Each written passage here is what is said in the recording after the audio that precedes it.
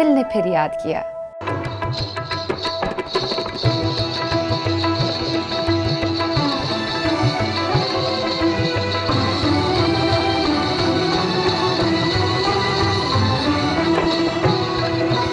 एक ऐसी शख्सियत, जो बेपनाह खूबियों और सलाहितों की मालिक थी।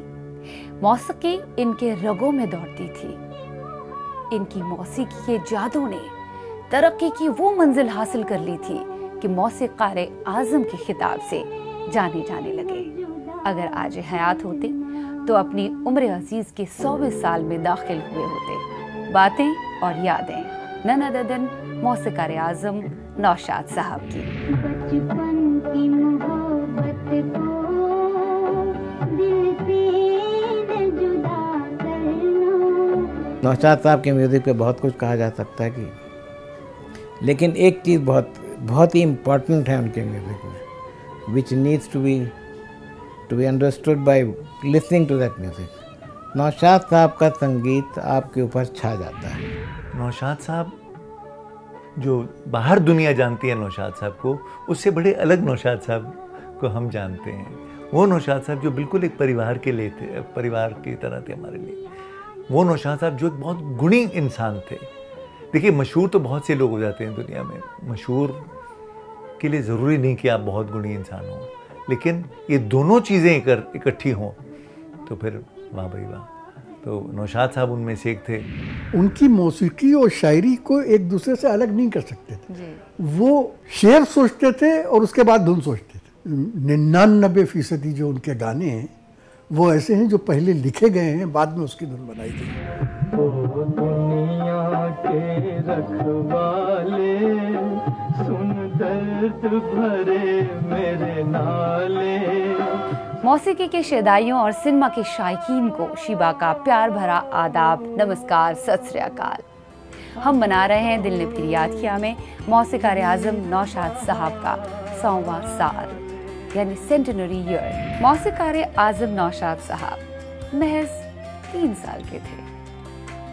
उस वक्त इनकी तबीयत इस कदर नासाज हुई कि घर के अफराद के साथ साथ डॉक्टर्स ने भी उम्मीदें छोड़ रखी थी। नौशाद साहब को मुर्दा करार दिया गया। लेकिन फिर करिश्मा कुदरत हुआ। शायद कुदरत को कुछ और ही मंजूर था। शायद ऊपर वाले ने नौशाद साहब की ज़िंदगी में कुछ लिखना शुरू किया था। कुछ नया चैप्टर लिखना शुरू किया था।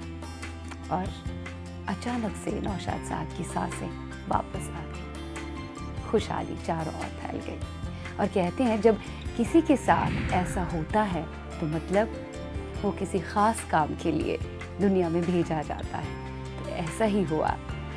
वैसे, नौशाद साहब के बचपन में काफ़ी कुछ हुआ।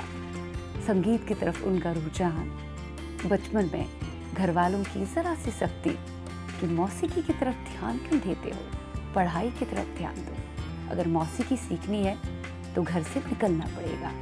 नौशाद साहब ने काफ़ी जद्दोजहद की लेकिन उन्होंने हार नहीं मानी। आइए सुनाते हैं आपको मौसीकार आज़म, नौशाद साहब के बचपन की दास्तान और मौसीकी के प्रति उनका रुझान। अदीबों के शहर, लखनऊ में वाकया कंधारी बाज़ार में एक मुंशी वहीद अली के घर में 25 दिसंबर 1919 को पैदा हुए मौसीकार आज़म, नौशाद। मौसीकी की तरफ़ नौशाद का रुझान बचपन से ही था। हिंदुस्तानी क्लास की मौसीकी की शुरुआती तरबियत उस्ताद गुरबत अली, उस्ताद यूसुफ अली और उस्ताद बब्बन अली से हासिल की। कैसे? सुन लीजिए। दरअसल गुरबत अली एक साज की दुकान चलाते थे। एस भोंदो एंड सन्स के मालिक थे। वो हमेशा देखा करते थे कि एक कमसिन बच्चा उनकी दुकान के पास आया करते और वहाँ नुमाइश के लिए रखे गए मुख्तलिफ़ साज की तरफ़ नजरसानी करते। बड़े लगाव से। एक रोज दुकान के मालिक ने पास जाकर पूछ ही लिया, क्यों मिया? रोज रोज दीदा फाड़ फाड़ के साजों को क्या देखते रहते हो? क्या मंशा है? कम से नौशाद ने जवाब दिया, घंटे दो घंटे दुकान में बैठने दें, जो खिदमत कहेंगे करूँगा। गुरबत अली ने हामी भर ली और ऐसे में नौशाद को साजों के बीच रहने का मौका मिला। बड़ा ख्याल रखते थे साजों का। ये देख गुरबत अली और उनके भाई स्टार वादक यूसुफ अली बहुत खुश हो जाते। अब तो गुरबत अली ने पूरे दुकान की ज़िम्मेदारी नौशाद के सुपुर्द की थी। ये दौर था साइलेंट फ़िल्मों का और लखनऊ के रॉयल सिनेमा थिएटर में साइलेंट फ़िल्मों की स्क्रीनिंग हुआ करती थी और बैकग्राउंड म्यूज़िक फुल ऑर्केस्ट्रा के साथ स्टेज पर लाइव बजता था। नौशाद बिना कोई दिन गवाए रॉयल थिएटर में पहुँच जाते, ये देखने की साजन दर साज कैसे बजाते हैं। मौसीकार लाइव ऑर्केस्ट्रा किस तरह से बजाते हैं? रॉयल सिनेमा में लडन साहब बाजा बजाया करते थे। वो नौशाद साहब की तरफ़ बड़े शौक से देखा करते। नौशाद साहब को अपने पास बिठाते। ये सारा नज़ारा अपने जहन में लिए नौशाद साहब दूसरे दिन गुरबत अली की दुकान पर सुबह सवेरे पहुँच जाते और जो तर्ज उन्होंने सुनी थी, वो तर्जें साज लेकर बजाते। एक दिन नौशाद साहब को वक्त का अंदाज़ा नहीं रहा। वो तर्जें बजाते गए और गुरबत अली दुकान में दाखिल हुए। गुरबत अली के मिजाज को जानते हुए नौशाद को लगा कि आज तो खैर नहीं, पर गुरबत अली ने कहा, आपकी गुस्ताखी की सजा के तौर पर ये बाजा आज से आपका हुआ। जाइए, इसे बजाइए। मुझे यकीन है कि एक दिन तुम ऊँचे दर्जे के फनकार बनोगे। नौशाद साहब की लगन को देखकर गुरबत अली, यूसुफ अली और लड़न साहब उनके शुरुआती उस्ताद बने। नौशाद साहब के वालिद वहीद अली बहुत ही कदामत पसंद थे, मौसीकी के सख्त खिलाफ थे और नौशाद साहब का मौसीकी की तरफ़ रुझान उन्हें बिल्कुल नापसंद था। उन्होंने घर आने के कुछ कवायद कानून रखे थे कि रात नौ बजे के बाद घर के सारे दरवाजे बंद होने चाहिए। पर नौशाद साहब की अम्मा चोरी छुपे दरवाज़ा खोल देती, पर खाना नहीं दे पाती क्योंकि आवाज़ करने पर वालिद साहब अगर जग गए तो गजब हो जाएगा। ऐसे में नौशाद साहब अक्सर भूखे पेट सो जाते। नौशाद साहब को गुरबत अली ने एक बाजा तोहफे में दिया था। उन्होंने घर में वो छुपा के रखा था। एक दिन वालिद साहब की नज़र उस पर पड़ी और बस नौशाद साहब की चोरी पकड़ी गई। वालिद साहब वही अली ने नौशाद साहब के बाजे को उठाकर ज़मीन पर पटक दिया और उसके टुकड़े कर दिए। और आग बबूला होकर नौशाद साहब से कहा, अगर बाण मिरासी ही बनना है, यही सब करना है तो दफ़ा हो जाइए। नौशाद साहब ने भी जवाब में कहा, ऐसा ही होगा और ऐसा ही हुआ। पंद्रह साल की उम्र में नौशाद साहब ने घर छोड़ दिया और गुरबत अली और यूसुफ अली ने नौशाद साहब को सहारा देकर उनका ड्रामा ग्रुप में दाखला कराया। यहाँ बबन साहब से मुलाकात हुई। बबन साहब क्लास की मौसीकी के उस्ताद थे। उनके जेर साया काफ़ी कुछ सीखने को मिला, पर अभी भी कुछ अधूरापन था। कुछ तो था जिसकी कमी थी।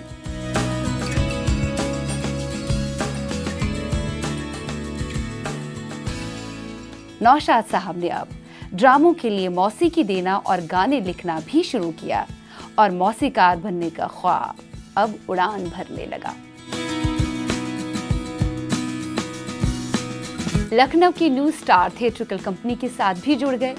स्टेज ड्रामों के लिए 1935 में कई टूर भी हुए, पर जब कंपनी बंद हो गई तो नौशाद साहब को घर लौटना पड़ा माँ के पास। घर में वालिद साहब ने कहा, घर पर रहने दूँगा, मगर ये साज बजाना मौसीकी छोड़नी पड़ेगी।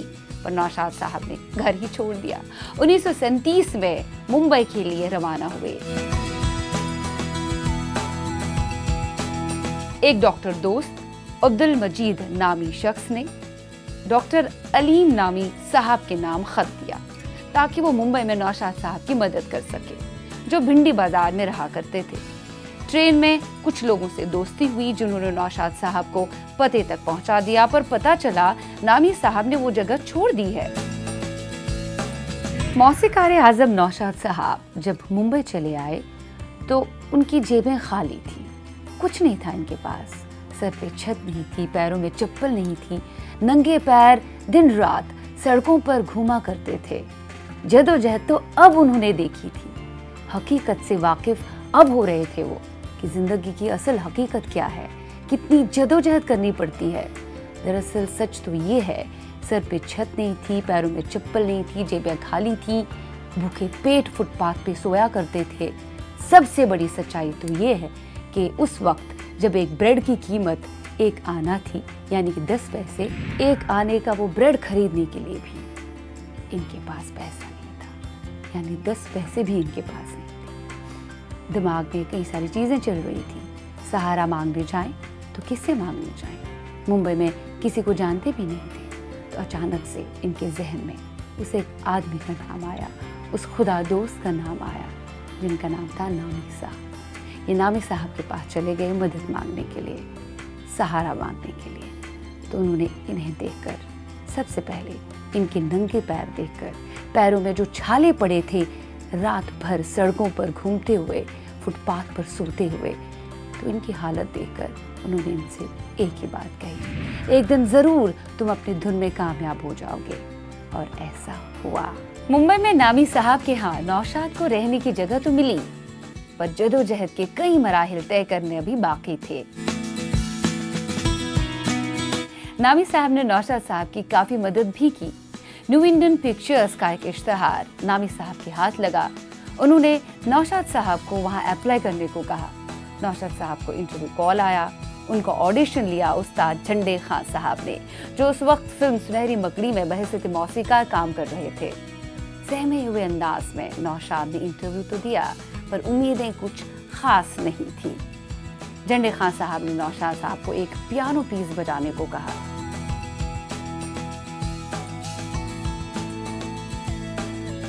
कुछ दिनों बाद न्यू इंडियन पिक्चर्स के यहाँ से नौशाद साहब को एक अपॉइंटमेंट लेटर आया।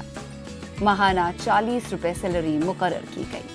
नौशाद साहब को आने जाने का ट्रेन का पास भी मिला। अब नौशाद साहब नामी साहब पर बोझ नहीं बनना चाहते थे, वो वहाँ से निकलकर अपने हम वतन अख्तर नाम के एक शख्स के पास दादर में रहने लगे, जो दादर की एक दुकान में सेल्समैन का काम करते थे और वहीं पे रहा करते थे। जगह छोटी थी, नौशाद का दम घुटता था। जब शटर डाउन होता था तो ऐसे में वो बिस्तर बाहर लगा के सोते थे।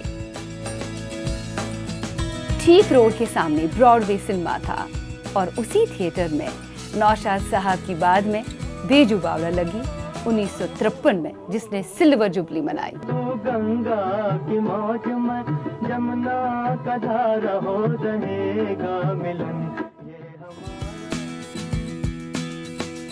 एक दिन उस्ताद झंडे खान साहब फ़िल्म सुनहरी मगड़ी की तर्ज बनाते बनाते कहीं अटक गए। फ़िल्म के डायरेक्टर रफीक रिजवी और न्यू इंडियन पिक्चर्स के मालिक हेनरी को जो चाहिए था, वो नहीं दे पा रहे थे। नौशाद साहब ने उस्ताद झंडे खान साहब से इजाज़त ली और तर्ज बना दी। सब बेहद खुश हुए और ऐसे में उस्ताद झंडे खान साहब के असिस्टेंट मुकर किए गए नौशाद। फ़िल्म थी सुनहरी मकड़ी। सुनहरी मकड़ी का काम चार महीने में खत्म हुआ। और नौशाद साहब फिर से एक बार बेरोजगार हुए। जदोजहद के अभी और भी मराहल बाकी थे, और भी पड़ाव बाकी थे। मौसीकार आज़म नौशाद साहब को जब जब लगता कि जदोजहद का दौर ख़त्म हो रहा है, तभी एक और मोड़ आता ज़िंदगी में। जदोजहद का एक और रास्ता खुल जाता, जिसकी मंजिल कहीं नज़र नहीं आ रही है। मंजिल का कोई अता पता नहीं है। नामो निशान नहीं है। और नौशाद साहब जिस बिल्डिंग की सीढ़ियों पर रातें गुजारा करते थे, उन्हें बिल्कुल मालूम नहीं था। उन्हें तस्वुर में भी नहीं ये बात आई थी कि इस बिल्डिंग के ऊपर के माले पर हिंदुस्तानी सिनेमा की एक अजीम अदाकारा लीला चिटनिस रहती है। और हद तब हो जाती थी कि लीला चिटनिस जब अपने घर आया जाया करती थी तो नौशाद साहब सीढ़ियों पर सोया करते थे। वो उनके ऊपर से गुजर जाती थी और मौसीकार आज़म नौशाद साहब के पैर भी कभी कभार कुचल जाते थे। और लीला चिटनिस को भी ये बिल्कुल मालूम नहीं था कि एक दिन मौसीकार आज़म नौशाद साहब उनके लिए संगीत तरतीब देंगे मौसीकी तरतीब देंगे। कमाल है। आइए इस सफ़र को और आगे बढ़ाते हैं, आगे की दास्तां आप तक पहुंचाते हैं। काम की तलाश फिर एक बार ख़त्म हुई और नौशाद साहब को रेनबो रिकॉर्डिंग कंपनी में गैर फिल्मी नगमों में मौसीकी तरतीब देने की नौकरी मिली। यहाँ नौशाद साहब की दोस्ती प्यारे लाल यानी हिदायतकार पी एल संतोषी से हुई। बाद उसके फ़िल्म सिटी कंपनी का दरवाज़ा खटखटाया तो वहाँ ए आर कारदार से मुलाकात हुई, जो उस वक्त बागमा फ़िल्म बना रहे थे, जिसके मौसीकार एच सी बाली थे, हरीश चंद्र बाली से नौशाद की मुलाकात प्रेम अदीब ने करवाई। एच बाली ने नौशाद साहब को अपना असिस्टेंट बनाया इंडस्ट्रियल इंडिया कंपनी में मोहर और पति पत्नी जैसी फ़िल्मों के लिए। पति पत्नी बुरी तरह से नाकामयाब साबित हुई और मोहर फ़िल्म डिब्बाबंद हुई। फिर एक बार नौशाद साहब की नौकरी हाथ से गई। फिर एक बार नौशाद बेरोजगार हुए। इसी दौरान नौशाद साहब की पीएल संतोषी के साथ गहरी दोस्ती हुई थी। पीएल संतोषी ने नौशाद साहब को अपने घर रखा। उस दौर में संतोषी के पास खूब काम था। बतौर गीतकार और उसके लिए वो कभी कभार नौशाद साहब की भी मदद लिया करते थे। वो नौशाद साहब को भी काम दिलवाने में कोई कसर नहीं छोड़ते थे। किस्मत ने यहाँ पर भी एक नया मोड़ लिया। पीएल संतोषी की शादी हो गई और नौशाद साहब वहाँ से निकलकर परेल के एक वन रूम चौल में रहने आए। पहली मर्तबा अब नौशाद साहब खुद के बलबूते पर एक किराए के कमरे में रहने लगे। इसी बीच सरदार चंदूलाल शाह का रंजीत स्टूडियो फ़िल्म मिर्ज़ा साहिबा बनाने की फिराक में था। मनोहर कपूर फ़िल्म के अदाकार और मौसीकार भी थे। उन्होंने नौशाद साहब को अपने असिस्टेंट के तौर पर रखा। साठ रुपए माहाना सैलरी मुकर हुई। फ़िल्म के गाने उस वक्त के मशहूर नगमे निगार डीएन मधोक लिख रहे थे। डीएन मधोक साहब नौशाद साहब के हुनर से काफ़ी मुतासर थे। वो उनके शेदाई हो गए थे। उस दौर में मौसीकार खेमचंद प्रकाश का नाम उरूज पर था। डीएन मधोक ने नौशाद साहब की मुलाकात खेमचंद प्रकाश से कराई। उन्होंने फ़ौरन नौशाद साहब को अपना असिस्टेंट बनाने पर हामी जताई। और नौशाद साहब उन्नीस सौ उनचास की फ़िल्म मेरी आँखें में खेमचंद प्रकाश के असिस्टेंट बने। और उन्हें सीखने को भी काफ़ी कुछ मिला एक महान मौसीकार खेमचंद प्रकाश से। खेमचंद प्रकाश नौशाद साहब के काम से इतने मुतासर हो गए कि उन्होंने नौशाद साहब को सरदार चंदूलाल सेठ की फ़िल्म कंचन, जिसमें उस वक्त की मशहूर अदाकारा लीला चिटनिस अहम रोल में थी, वो दिलवाई। नौशाद ने आठ सौ रुपए में फ़िल्म साइन कर ली, पर एक बार फिर से वो हुआ जिसकी नौशाद साहब को उम्मीद नहीं थी। फ़िल्म की रिकॉर्डिंग के पहले ही दिन वहाँ बैठे सभी मौसीकार नौशाद की कामयाबी बर्दाश्त नहीं कर पाए। उन्होंने नौशाद साहब के साथ राबता नहीं बिठाया। वो बार बार रुकावटें डालते गए, चीज़ों को मुश्किल बनाते गए। बारहा नौशाद साहब ने रिकॉर्डिंग मुकम्मल तो कर ली, पर जज्बात को ऐसी ठेस पहुँची, उनके बर्ताव से कि उन्होंने रिजाइन दे दिया रंजीत स्टूडियो से, और उनके साथ कभी ना काम करने का फैसला कर लिया। पर डीएन मधोक ने मायूस नौशाद साहब का हौसला बढ़ाया।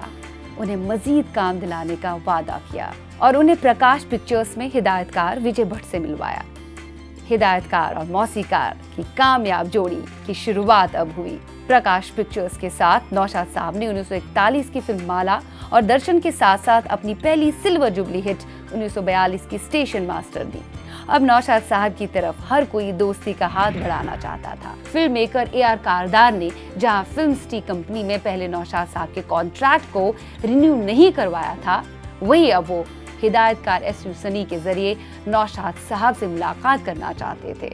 एस यू सनी के कहने पर नौशाद साहब ने ए आर कारदार स्टूडियोज में दाखला लिया और 1942 से उन्नीस तक फिर नौशाद कारदार की जोड़ी ने कामयाब तरीन फ़िल्में दी, जिनमें शारदा, नमस्ते, संजोग, नाटक, कानून, जीवन गीत, पहले आप, दर्द, सन्यासी, शाहजहां। जब दिल ही टूट गया हम जी के क्या करेंगे?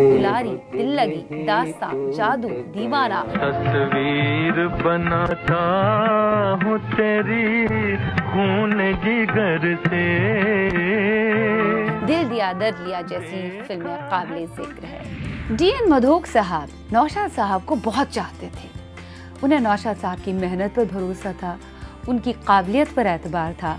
इसीलिए उनकी तारीफ़ें करते वो नहीं थकते। उन्हें जब भी मौका मिलता, हर एक से वो नौशाद साहब की तारीफ़ें ही किया करते। इस वजह से नौशाद साहब को उनकी लाइफ का, उनके करियर का एक बहुत बड़ा ब्रेक मिला। बतौर इंडिपेंडेंट म्यूज़िक डायरेक्टर जो उन्हें दिया none other than D N Madhok साहब ने। 1940 में उनकी पहली फ़िल्म बतौर इंडिपेंडेंट म्यूज़िक डायरेक्टर सामने आई। फ़िल्म का नाम था प्रेम नगर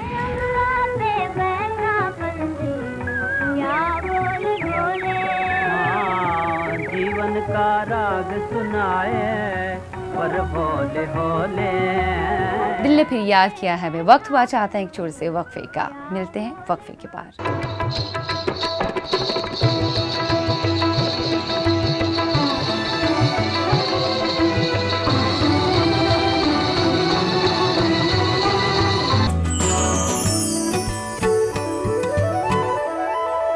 दिल ने फिर याद किया।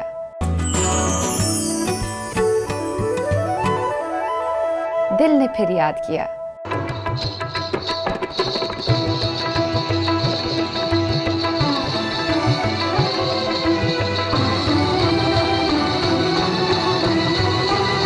वक्फे के पार हम हाजिर हुए हैं। नौशाद साहब को आज हम दिल ने फिर याद किया में याद कर रहे हैं।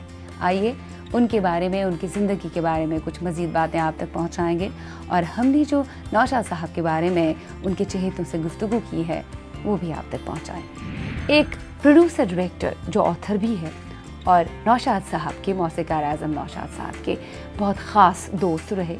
उनकी लाइफ में काफ़ी अमलो दखल उनका रहा, जो हम वतन ही रहे नौशाद साहब के, जिनका नाम है त्रिनेत्री वाजपेयी जो प्रोड्यूसर डायरेक्टर ऑथर है। त्रिनेत्री वाजपेयी ने अपनी उस बुक में जिसका नाम है दोज मैग्निफिसेंट म्यूज़िक मेकर्स जिसमें उन्होंने बहुत सारे म्यूज़िक डायरेक्टर्स के बारे में काफ़ी कुछ लिखा है। उनके शुरुआती दौर से, उनके आखिरी वक्त तक उन्होंने क्या क्या बदलाव हिंदुस्तानी सिनेमा में देखे और उन्होंने किस तरह से हिंदुस्तानी फ़िल्म इंडस्ट्री को बदला अपनी मौसीकी से। उसमें उन्होंने एक बड़ा चैप्टर मौसीकर आज़म नौशाद साहब के ऊपर लिखा है, जिसमें उन्होंने उनकी शख्सियत अच्छे तरीके से ज़ाहिर की है। वो हम वतन थे। वो नौशाद साहब को बेहतर तरीके से जानते थे। जब हमने उनसे गुफ्तु की गुफ्तु के दौरान उन्होंने कई सारी और बातों का खुलासा किया। नौशाद साहब के बारे में हमें बताया। क्या कहते हैं वो? आइए आपको भी दिखाते हैं। मौसीकार आज़म, नौशाद साहब, से मेरा रिश्ता बहुत पुराना है। कितना पुराना है ये मैं भी नहीं बता सकता। मेरी वालिदा आज होती हैं तो बता देती मैं कोई दो या तीन या चार साल का रहा हूँगा। तो ग्रामोफोन था हमारे यहाँ और हमारे वालिद साहब और हमारी माता जी अक्सर गाने बजाया करते थे। एक ही गाना बजता था जिसके ऊपर मैं उठ के नाचने लगता था। वो गाना नूरजहाँ बेगम का था जवा है मोहब्बत हँसी है ज़माना। तो वहाँ से हमारा एक तरीके की का रबता कायम हुआ नौशाद साहब से और उनकी मौसीकी से। मैं बेझिझक कह सकता हूँ कि नौशाद साहब जैसा संगीतकार ना हुआ है, ना होगा। वो मौसीकी के बादशाह थे। मौसीकी उनको सलाम करती थी। ऐसा अजीम फनकार, बहुत से फनकार हुए। बड़े बड़े म्यूज़िक डायरेक्टर हुए, हम उनका बहुत, उनकी बहुत अकीदत करते हैं। लेकिन नौशाद साहब नौशाद साहब, एक ज़माने में कहा जाता था, रेडियो पे आता था, एक फ़िल्म में भी आया था कि तीस करोड़ हिंदुस्तानी, उस ज़माने में आबादी तीस करोड़ थी। तीस करोड़ हिंदुस्तानी और एक अकोला नौशाद। ये ये होता था। तो उनके बारे में मैं क्या कहूँ? मौसीकी का समंदर थे। और हम म्यूज़िक के बड़े शौकीन हैं। हमने कुछ म्यूज़िक बनाने की भी हिमाकत की है। और अगर उन गानों को सुनेंगे तो उसके बीच का जो ऑर्केस्ट्रेशन है, वो कहाँ से आया आपको समझ में आ जाएगा। वो इधर ही समंदर के किनारे आशियाना है, वहाँ से तो हमने एक किताब लिखी साहब उन मौसीकारों के ऊपर, जिसमें ज़िक्र है उन 26 मौसीकारों का, जिन्हें मौसीकार मानते हैं और जो गोल्डन एज था हिंदी फ़िल्म म्यूज़िक का। आर सी बोराल से लेकर आर डी बर्मन तक 26 मौसीकारों का ज़िक्र है उसमें। ये किताब है और इसमें जो सबसे बढ़िया चैप्टर है, जो कई लोगों ने मुझसे कहा, वो नौशाद साहब के ऊपर है। तो ऐसा था देखिए कि ये तो बात हमने बताई आपको अपने बचपन की, तीन चार साल की थी। फिर मैं लखनऊ का रहने वाला हूँ तो नौशाद साहब का हम वतन हुआ, जो मैंने एक दफ़ा उनसे कहा भी था। तो किस्सा कुछ यूँ है कि मैं वहाँ रिक्शे चला करते थे लखनऊ में। और कांधारी बाज़ार करके एक जगह थी। और रिक्शे वाले क्या थे वो साहब बोल बोलते हुए अमीन से सयानी थे उस ज़माने के। उनकी वो रिक्शा चलाते रहते थे और बोलते रहते थे, कमेंट्री चलती रहती थी कि फ़लाँ जगह फ़लाँ है फ़लाँ है। तो कांधारी बाज़ार में उनके नौशाद साहब के घर के सामने से जब निकलते थे तो कहते थे कि, देखिए माता जी ये जो है, ये मैजिक नौशाद का घर है। और मैं उस समय कोई पाँच छः साल का था। तो मुझे समझ में नहीं आता मैजिक में नौशाद कौन है, ये कोई जादूगर है, क्या है? उसके आगे चलेंगे तो एक एस भोंडू करके दुकान है साहब, वहाँ जहाँ पहले नौशाद था, अपने पहला सांस खरीदा था, क्या उन्हें गिफ्ट में दिया गया था? उस दुकान में वो काम भी करते थे। लाटूश रोड है अमीनाबाद में, उस पर यहाँ पे देखिए उन्होंने अपना पहला सांस खरीदा था। इस तरह से एक रॉयल सिनेमा हुआ करता था। जिसका नाम बाद में मेहरा हो गया, वो लखनऊ शहर का पहला सिनेमा था। इस सिनेमा में नौशाद साहब उस समय साइलेंट फिल्म्स होती थी तो नौशाद साहब वहाँ पे साथ बजाते थे तो बैकग्राउंड स्कोर लाइव बजाया जाता था। आप सोचिए किस तरह की ट्रेनिंग हुई होगी उस आदि मौसीकार की। कि सीन चल रहा है सामने साथ पे बैकग्राउंड म्यूज़िक बज रहा है और लोग सिनेमा देख रहे हैं। तो वो रॉयल टॉकीज या मेरा सिनेमा, उसमें मैंने एक दफ़ा उड़न खटोला देखी थी। उस समय मैं सात आठ साल का रहा हूँ। तब से हमें नौशाद साहब का म्यूज़िक जो है वो ग्रो करता रहा हमारे ऊपर। तो खैर, वो रिक्शे वाले तो हमें माता जी मुझे बताया कि मैजिक नौशाद, संगीतकार नौशाद अली हैं जो लखनऊ के रहने वाले थे। और उनका म्यूज़िक सारी दुनिया को बहुत पसंद है। उस वक्त पिक्चर लगी हुई थी अमर, जो एक लैंडमार्क फ़िल्म है। अगर आपने नहीं देखी तो ज़रूर देखी ऐसा साइकोलॉजिकल ड्रामा कभी बना नहीं, और उसके अंदर जो बैकग्राउंड म्यूज़िक दिया गया वो कभी बना नहीं। खैर, नौशाद साहब के म्यूज़िक पे बहुत कुछ कहा जा सकता है कि, लेकिन एक चीज़ बहुत बहुत ही इम्पोर्टेंट है उनके म्यूज़िक में which needs to be to be understood by listening to that music Naushad साहब का संगीत आपके ऊपर छा जाता है। इट ग्रोज ऑन यू अभी हमने गाना सुना, जैसे कि न रोया दिल कहीं रोने से तकदीरें बदलती हैं। उड़न कटोला का बड़ा मकबूल गाना है। आप इसको सुन लीजिए, खाना खा के सो जाइए रात भर आपके दिमाग में वो गाना बजेगा you can say this about any other composer ये बहुत बड़ी बात मैं कह रहा हूँ। किताब है आरती भोराल से लेके आर डी बर्मन तक, आप समझ गए कौन कौन है उसके अंदर। एस डी बर्मन शंकर जय किशन सलील चौधरी, मदन मोहन, रोशन वगैरह वगैरह वगैरह। लेकिन सानी नहीं वाली बात है। इसमें कोई दो राय नहीं है कि नौशाद साहब के म्यूज़िक ने, उनकी मौसीकी ने, उनके संगीत ने लोगों के जहन दिल पर एक ख़ास छाप छोड़ दी। दरअसल इसकी सबसे बड़ी वजह ये रही कि उनकी बुनियाद क्लासिकल थी, वो ठोस क्लासिकल बुनियाद। और उन्होंने इसके साथ साथ नित नए तजुर्बे भी किए। एक्सपेरिमेंट्स भी किए नए नए रिदम को इंट्रोड्यूस कराना हिंदुस्तानी फ़िल्म इंडस्ट्री में। तो ये ना सिर्फ़ उनके लिए पत्थर का मील साबित हुई, बल्कि नए नए सिंगर्स के लिए, गायकों के लिए और साथ ही साथ एक्टर्स के लिए भी बहुत अच्छा रहा। उनकी कामयाबी में भी इसने बहुत ही अच्छा योगदान रोल निभाया। वो शख्स, वो शख्सियत कभी संगीत संगीत के लिए नहीं देते कि मुझे ये गाना अच्छा लगता है, रोमांटिक गाना, मुझे इस राग में ढालना है, इसमें ये डालना है तो ये करना ऐसा कुछ नहीं होता था। He use his music used to be in commensurate with the with the film and its subject तो पहले कहानी सुनते उसके बाद वो सोचते थे किस तरह का सीन आने वाला है। कई फ़िल्मों की कहानियाँ उन्होंने दुरुस्त भी की जो ठीक नहीं बन रही थी। मतलब दीदार, आप दिलीप साहब की पिक्चर देख लीजिए। वो पिक्चर देख लीजिए, पंद्रह फ़िल्में, जिनमें नौशाद साहब का म्यूज़िक है, और वो देख लीजिए जिनमें म्यूज़िक नहीं है।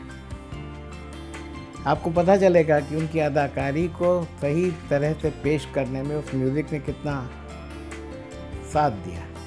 How he facilitate facilitated the exposition of the talent of mister Dilip Kumar which is uncanny जो उन, उनके जैसा कलाकार यहाँ से लेके सुएज कैनाल के उस तरफ़ तक नहीं हुआ।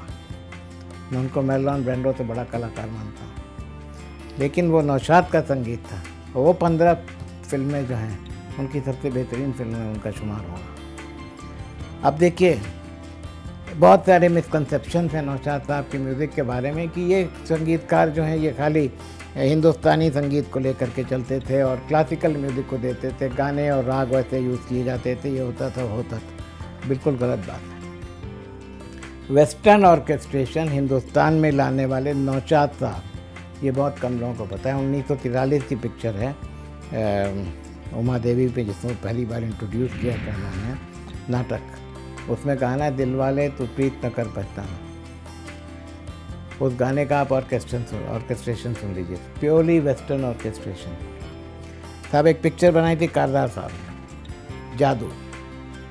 स्पेनिश म्यूज़िक है। स्पेनिश बैकग्राउंड है। पूरा म्यूज़िक स्पेनिश कल्चर पे। शमशाद जी से गवाया, आप सुनिए कभी उन गानों को। तो सब्जेक्ट स्पेसिफिक होते हैं। और वो अकेले संगीतकार थे, जिनका बैकग्राउंड म्यूज़िक और डांस म्यूज़िक बाकायदा उसके रिकॉर्ड्स शाया होते और वो रिकॉर्ड गाने जो दूसरी तरफ़ उसके लिए नहीं, उसके लिए बिकते थे जो वो बैकग्राउंड म्यूज़िक था जो वहाँ तो इस तरीके के वो मौसीकार। क्लासिकल म्यूज़िक उन्होंने बहुत अच्छा इस्तेमाल किया, कुछ ऐसे रागों को सिंप्लीफाई करके किया, जो बहुत मुश्किल होता है। मुझे थोड़ी बहुत समझ है क्लासिकल म्यूज़िक इसलिए मैं समझ सकता हूँ। हमीर एक राग है, बहुत टेढ़ा राग है। और ये एस डी बर्मन साहब ने, बर्मन दादा ने खुद कहा था अपने जयमाला इंटरव्यू में कि एक मुश्किल राग को आसान बना के पेश करना सिर्फ़ नौशाद साहब जानते हैं और कोई नहीं जानते।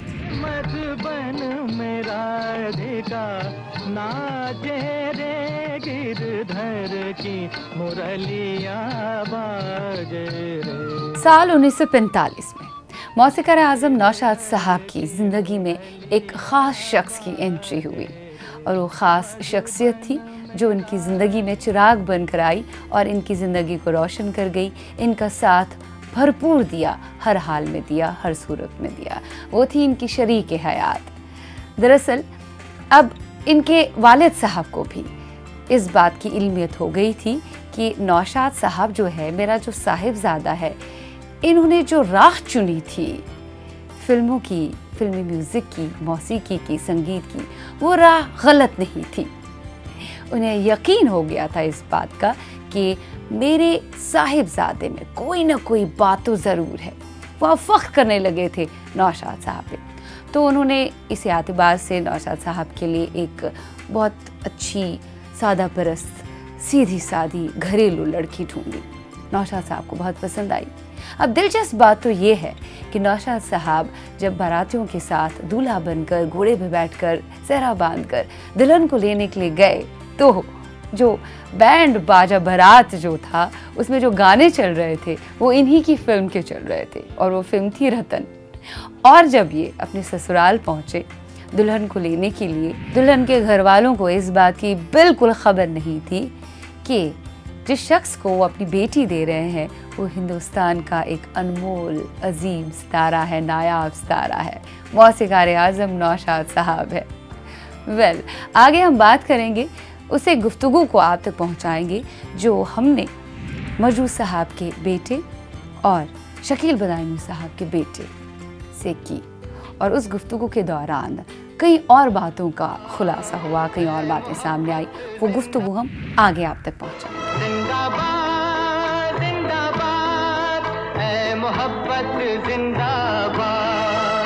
दिल ने फिर याद किया मैं वक्त हुआ चाहता है एक छोटे से ब्रेक का। हम मिलेंगे ब्रेक के पार।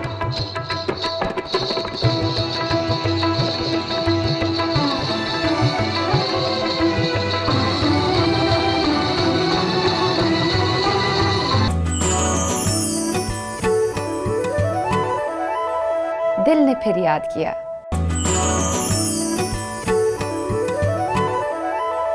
दिल ने फिर याद किया।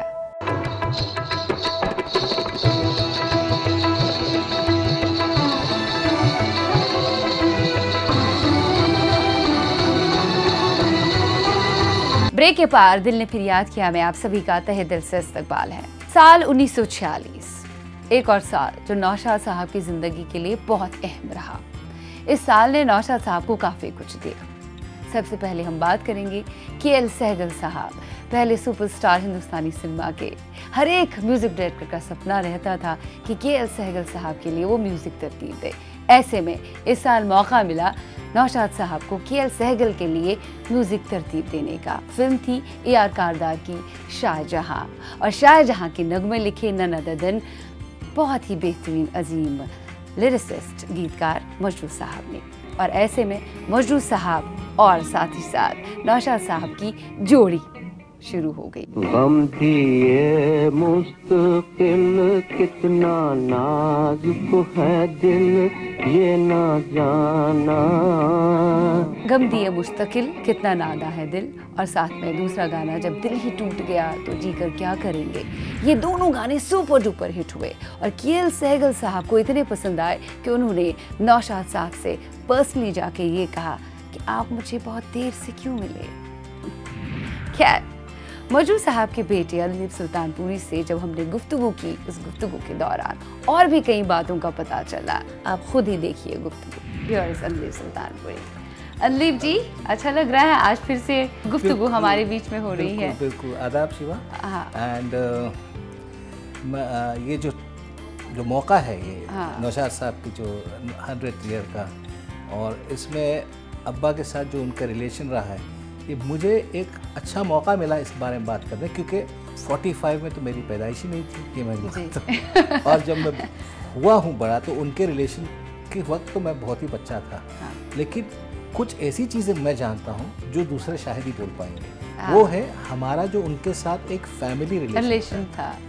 वो एक छोटी छोटी चीज़ बताऊँगा शायद अच्छा लगे आपको। खैर वो तो पता ही है सबको कि अब्बा मुशायरे में आए थे हाँ। 45 में तो के आर गारदार साहब भी मुशायरे में थे तो जिगर साहब उनके मेंटर थे तब। जी। तो मुशायरे में जब देखा तो चाहते थे कि अब्बा को एज अ सॉन्ग राइटर लेना। तो कुछ लोगों ने कहा कि पहले वो एक्चुअली जिगर साहब को ही लेने आए थे हाँ। तो जिगर साहब ने अब्बा का नाम दिया उनको। हाँ। और अब्बा हेजिडेंट थे शुरू में कि मैं कहाँ फ़िल्म लाइन में क्योंकि जैसे मैंने पिछले इंटरव्यू में कहा था कि गाँव में film line was not seen in a good way तो अब्बा भी हिचकिचा रहे थे कि मैं नहीं जाऊँगा। तो उस पर जिगर साहब ने कहा था उनको कि मजरू तुम मुशायरा करोगे शेर व शायरी करोगे कितना कमा लोगे बट इसमें तुम रहोगे तो अपने घर वालों को एक इज्जतदार ज़िंदगी दे सकते हो। जो अब्बा ने फिर आखिर वक्त तक यही किया कि उन्होंने अपनी शायरी को पीछे कर दिया लेकिन अपनी फैमिली की खातिर को बिल्कुल बिल्कुल बिल्कुल। सही, जब। शाहजहाँ का ज़िक्र हुआ अब्बा को तो जब नौशाद साहब के पास गए तो नौशाद साहब तब नौशाद द किंग थे। मतलब मुझे तो पता नहीं मुझे- maestro. हाँ। मुझे इतना इल्म नहीं है लेकिन मुझे बताया गया है और ये सब कहते थे कि उस वक्त ऐसा था कि अगर फ़िल्म अनाउंस होती थी और सिर्फ़ कहा जाता था कि music by Naushad distribution close हो जाता था। Only by his name distribution that kind of personality हुआ। अब उनके सामने अब्बा तो अब मैं एक विजुलाइज कर रहा हूँ कि क्या माहौल होगा कि जब अब्बा को इंट्रोड्यूस किया जा रहा है नौशाद साहब के बाद कि भाई ये है शायर हैं शाहजहां हाँ, के लिए लिखने वाले लिखने हैं। वाले हैं। उन्होंने अब्बा को मीटर दिया कि इस पे लिखो। तो फिर अब्बा ने लिख लिया। लिख लिया क्योंकि अब्बा शायर थे। तो तरन्नुम में कहते थे तो उनको वो Easy एक इजी था था। उनके लिए। लेकिन उन्होंने एक अपने ही खुद इंटरव्यू में खुद अपनी ज़बानी से कहा है कि मैं मौसीकी के बारे में कुछ जानता नहीं था। तो मीटर को किस तरह इस्तेमाल करना उसकी भी एक ज़बान है। मीटर की भी एक फोनेटिक्स से एक ज़बान है तो उसको किस तरह इस्तेमाल करना वो मुझे नौशाद साहब ने समझाया। उन्होंने कई मरतबा ये भी कहा कि नौशाद साहब बैकग्राउंड म्यूज़िक के किंग थे। साइलेंट फ़िल्मों से वो देते आए थे बैकग्राउंड म्यूज़िक उनको इल्म था उस बात का। उन्हीं की वजह से राइज हुआ बैकग्राउंड म्यूज़िक हिंदुस्तानी सिनेमा में। ये क्रेडिट उन्हें ही जाता है। तो मजरू साहब ने भी कई मरतबा इस बात का ज़िक्र किया है कि जो एज ए लिरिसिस्ट नगमा निगारी में गीतकारी में बैकग्राउंड म्यूज़िक का या बैकग्राउंड म्यूज़िक जहन में रखना कितना ज़रूरी होता है ये मैंने सिर्फ़ और सिर्फ़ नौशाद साहब से सीखा। उन्होंने एक बात बताई फिर जो हम बता रहे थे कि फोनेटिक्स को किस तरह इस्तेमाल करें मीटर में जो साउंड जो आप एक ट्यून देते हैं डा डा डा डू डू डू वो उस पर जो आप जो डा किया है तो डा पे अब कौन सा खुला हुआ लफ्ज़ लाऊं मैं वो सिखाया उन्होंने। और उसी पे अब्बा शायद खुद अपनी ज़बान से भी बोला और हम भी मानते हैं लोग भी मानते हैं कि अब्बा शायद पहले राइटर बने जो ट्यून पे लिखना एक आम रवायत शुरू हुई उनके। रिवाज शुरू हो गई। उनकी रवायत शुरू तो हम ये कह सकते हैं मजरू साहब ने जब शुरुआत की हिंदुस्तानी सिनेमा में मुशारों के बाद तो उनका पहला ब्रेक नौशाद साहब की फ़िल्म शाहजहां को लेकर हुआ। और उन्होंने उसके बाद जो उनका रिदम चला जी बेशक।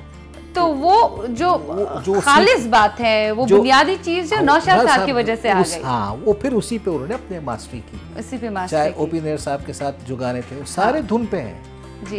बर्मन साहब के साथ जितने भी गाने ये नहीं कि उन्होंने पहले लफ्ज लिखे हैं फिर धुन बने। अक्सर धुन बने उसके ऊपर गाने फिट हुए जी बिल्कुल। तो खैर वो तो अब्बा की बात रही लेकिन नौशाद साहब का ये इतनी बड़ी देन जो अब्बा को मिली कि ये चीज़ अब्बा को कहाँ से कहाँ ले गई। ये तो हमने फिल्मी बात की उनकी। अब उनकी निजी ज़िंदगी पे बात करते हैं। कितने अज़ीज़ मैं- मैं दोनों उसी- दो मैं उसी जब पे आ रहा- मैं हाँ, उसी पे आ रहा था क्योंकि फ़िल्म मैं मैंने कहा कि मैं बहुत छोटा था जब एक तो पहले था ही नहीं और जब हुआ भी बहुत छोटा था तो मैं जो उनके साथ जो देखा अब्बा अम्मा मैंने अब्बा नौशाद साहब को as a friend as a family हम लोग देखे हम लोग पिकनिक्स पे जाते थे हम लोग वेकेशन पे साथ पे जाते थे। जैसे एक जगह है नासिक के पास महाराष्ट्र में नासिक उससे पहले इगतपुरी जगह उसके पास एक गोटी एक छोटी सी छोटा सा गाँव है उसका एक रेस्ट हाउस है तो उधर जाके हम लोग दो दिन या तीन दिन से वीकेंड बिताने जाते थे। तो वहाँ हम लोग जाते थे तो नौशाद साहब यंग 19 ईयर ओल्ड मैन भाई चलो क्रिकेट खेलेंगे। तो हम लोग सब लोग क्रिकेट खेलते थे। और मुझे अच्छी तरह याद है।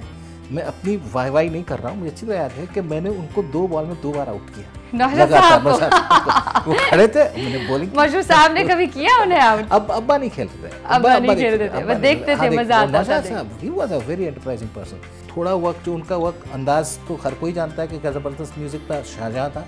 और एक फ़िल्म आई थी साथी। फ़िल्म चली नहीं। लेकिन मेरे हिसाब से वो गाने कमाल के गाने थे और उसमें नौशाद साहब ने जो म्यूज़िक अरेंजमेंट जो बदला है amazing song they was a song called ये कौन आया रोशन हो गई महफिल? अक्सर हमारी बहन के लिए गाते थे। वो स्कूल से आती थी तो हाँ। बोलते थे ये कौन आया रोशन हो गई सबा नाम है। उनको जो नौशाद साहब की बहू है। जी। ये जादू था उनका। जी जादू था और जो बरकरार रहा और नौशाद साहब और मजरू साहब की जोड़ी शुरुआत से ही बहुत अच्छी रही अटूट रही और आखिरी दिन तक एक दूसरे के साथ रहे। बहुत अच्छा लगा आपने कई सारी बातें ताज़ा कर दी। थैंक्स अ लॉट अली शुक्रिया। मौसीकार आज़म नौशाद साहब ये जब मुंबई के दादर इलाके में रहते थे तब वहाँ उनके घर के पास एक टेलर मास्टर की शॉप थी उस टेलर मास्टर के पास अक्सर व बेशतर नौशाद साहब जाया करते थे। ट्यूनिंग जम गई थी, मिजाज दोनों का कुछ एक जैसा था और उस टेलर मास्टर के सपने ख्वाब बड़े ऊँचे थे। वो बहुत बड़ा शाहकार बनाना चाहता था। नौशाद साहब हंसा करते कभी और कभी मरहम का काम करते थे। हमदर्द बनकर उनके इस ख्वाब को कहते थे, नहीं, पूरा होगा पूरा होगा। तो एक बार एक मरतबा कई साल गुजरने के बाद। वो टेलर मास्टर जो है, वो मौसीकार आज़म नौशाद साहब के पास आए, एक फ़िल्म को लेकर। हमने उनसे कहा कि आपसे दरख्वास्त है कि आप इस फ़िल्म का म्यूज़िक तरतीब दें। बड़े हैरान हो गए नौशाद साहब, कहा कि हाँ एस के ओझा इस फ़िल्म को डायरेक्ट कर रहे हैं और इस फ़िल्म का नाम है फूल नौशाद साहब तब इस दोस्त को ना कह गए, क्योंकि उस वक्त उनके हाथ में ये नहीं था। मजबूरी में कहना पड़ा, वो ए आर कारदार के साथ कॉन्ट्रैक्ट में थे और वो किसी और फ़िल्म को साइन नहीं कर सकते थे। लेकिन कुछ और वक्त गुजर गया, कुछ सालों बाद, नौशाद साहब उनके पास गए, उनसे कहा कि, ठीक है, हम एक और फ़िल्म कर लेंगे। तो अब की बार जो फ़िल्म सामने आई, उस फ़िल्म का नाम था मुगल आज़म। जी हाँ वो टेलर मास्टर थे के आसिफ जिसके सपने काफ़ी ऊँचे थे और उन्होंने अपने सपनों को उड़ान दी थी। और अब की बार मुगल आज़म नौशाद साहब के साथ उन्होंने बना डाली और मुगल आज़म की मौसीकी को कोई नहीं भुला सकता। एक ऐसा शाहकार जो ज़िंदगी में कभी नहीं बन सकता। एक इकलौता शाहकार जिसकी नींव बहुत मज़बूत थी। मौसीकी ज़बरदस्त डायरेक्शन ज़बरदस्त एक्टर ज़बरदस्त, साथ ही साथ नगमे निगारी ज़बरदस्त। और नगमे निगारी की none other than Shakeel Badayuni साहब ने।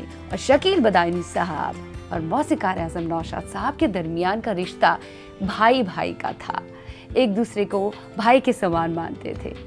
हाँ अब बारी शकील बदानी साहब के बेटे से हमारी गुफ्तगू की, जो हमने उनसे की और वो गुफ्तगू आप तक पहुंचाना चाहते हैं, जिसमें और भी कई बातों का पता चला। प्यार किया तो डरना क्या? जब प्यार किया तो डरना क्या? प्यार किया कोई चोरी नहीं की। प्यार किया। आपका बहुत बहुत खुश आमदीद है। आदाब। बहुत अच्छा लग रहा है हमें कि नौशाद साहब पर हमें ख़ास कर रहे हैं। सेंटिनरी ईयर मना रहे हैं उनका। इस बारे में अगर हम शकील साहब पर बात नहीं करेंगे तो बिल्कुल गलत होगा क्योंकि दोनों एक दूसरे के साथ बहुत कमिटेड थे। जी। इतने कमिटेड थे कि आखिरी दम तक दोनों एक दूसरे के अज़ीज़ ही रहे। जी और शकील साहब को अ, फ़िल्म में लाने वाले नौशाद साहब ही थे। नौशाद हम लोग नौशाद अंकल कहा करते थे उनको। शकील साहब को शायरी का शौक तो बचपन से था और गवर्नमेंट ऑफ़िस दिल्ली में कई काम किया नौकरी किया करते थे।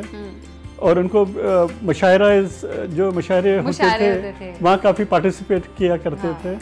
जो बॉम्बे में एक मुशायरा हुआ था जिसमें शकील साहब ने एक नज़म पढ़ी वही कारवां वही रास्ते वही ज़िंदगी वही मरहले मगर अपने अपने मकाम पर कभी हम नहीं कभी तुम नहीं।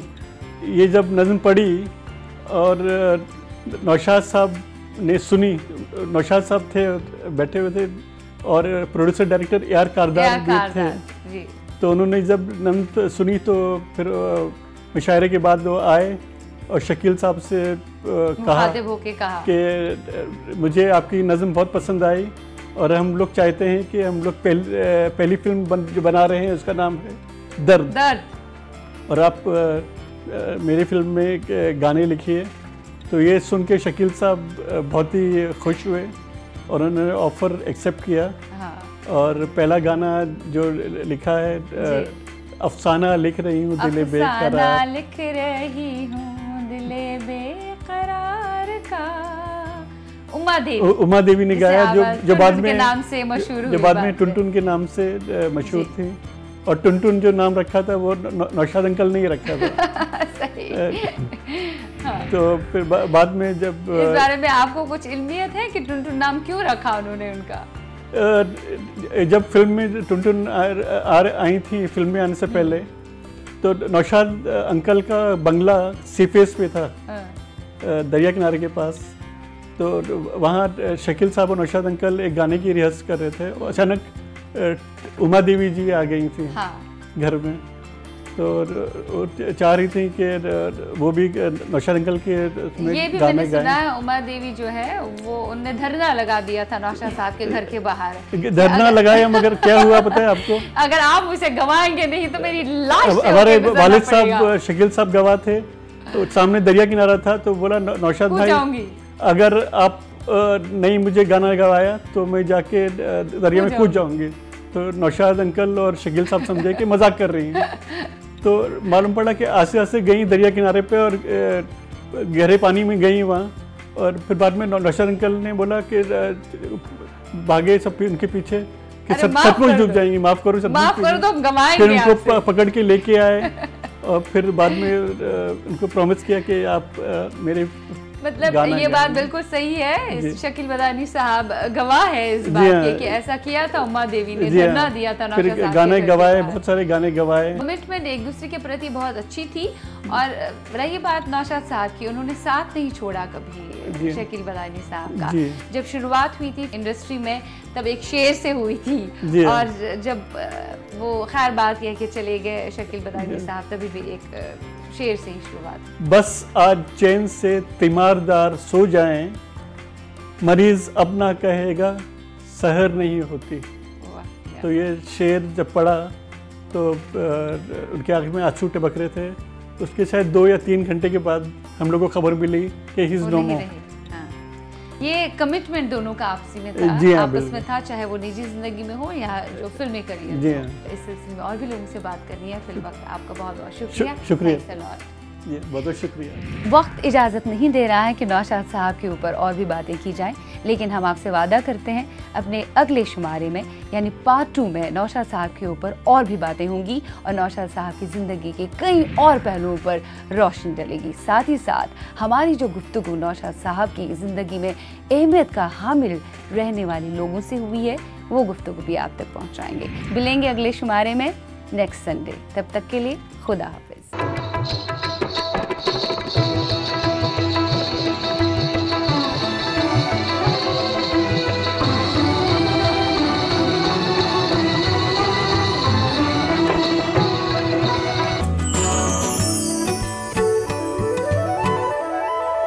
दिल ने फिर याद किया।